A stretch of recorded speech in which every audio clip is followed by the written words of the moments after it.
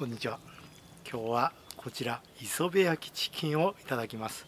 ファミマですね。はい。やこれうまそうですよね。磯辺焼きっていうことでこちら海苔がついてますね、はい、こちらをいただきます。すごくねいいチキンの香りがします。あれ。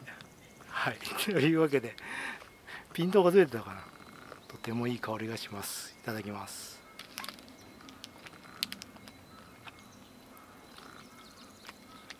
うん。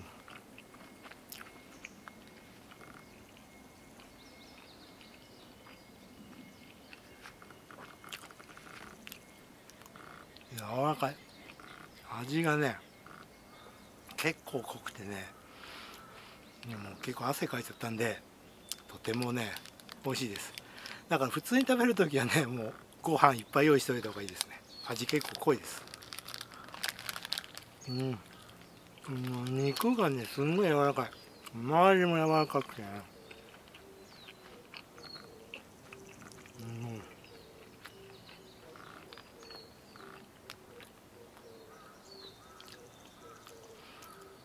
この海苔の風味がね、まあ、確かにアクセントになっていいかなと思います。ほんとすんごいジューシー。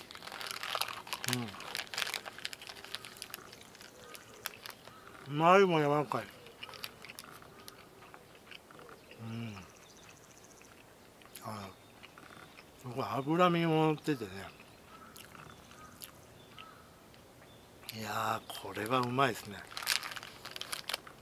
うん。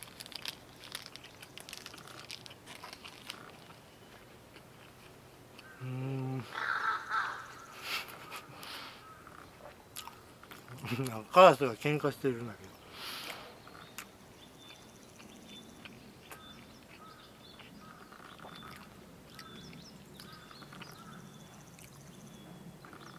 これはねかなり美味しいですね。ただそうですね。今はちょうどいいですけどなんかご飯が欲しくなりますね。はい、おつまみにもいいかなと思います。